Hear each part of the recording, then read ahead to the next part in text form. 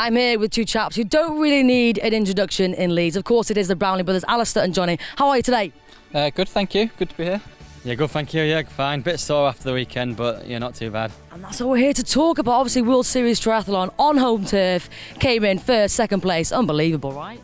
Yeah, thanks very much. It was brilliant. It was a, just a massive honour being able to race in our hometown in you know one of the biggest, best triathlons in the world. And yeah, thankfully it went well. Was it a lot of pressure to do it on your home turf? Was a huge expectation for you guys to come through and get those first and second places? Yeah, there's definitely a lot of pressure. Uh, obviously, it's been talked about for a long time. There was our posters all over town hall. You know, we were probably 12 foot high in the town hall, and there's pictures everywhere. And uh, yeah, there was a lot of pressure, but we're used to that pressure. Obviously, we had a home Olympics four years ago. Where, uh, I never experienced pressure like that. Uh, but it was a nice kind of friendly pressure as well, because obviously it's a local pressure. And uh, but it was absolutely incredible to get first and second unbelievable. Now, triathlon consists of three rounds. Which is your strongest round out of the swimming, the running, and the cycling?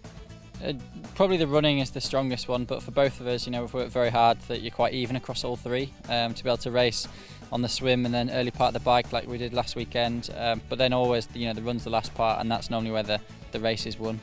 And when you get to the run part, that's kind of where you know realistically where you're going to come, getting towards the last rounds being brothers, obviously you kind of work as a team as such, and that, but towards the end it is kind of winner takes it all.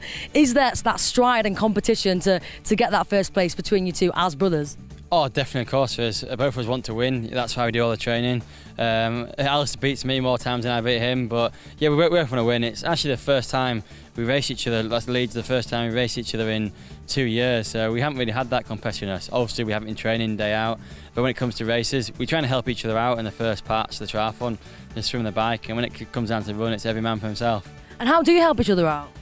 Well, on the bike, you know, you can be tactically uh, aware of where each other is. So um, on Sunday, it was a good example. I saw Jonny attack from a group behind me, and I just waited that little bit to give him the tow along. And then obviously we work hard together to speed the race up as much as we can. No, definitely. Now, going more into like the personal lives, is there some things, including career as well, that irritate you a little bit in training? Do you get frustrated with each other? What are they? I want to know. I suppose with Alistair, he's always late everywhere, so ah. I'm a very kind of prompt on time person, so he likes to be late, and that stresses me out occasionally. what are you going to say about Jonny? He always has to do everything early. I saw something on Twitter about a noodle burrito.